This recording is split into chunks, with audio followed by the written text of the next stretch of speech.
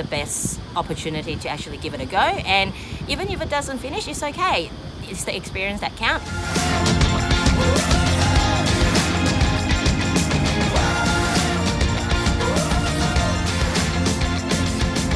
Weet-Bix Kids TRYathlon!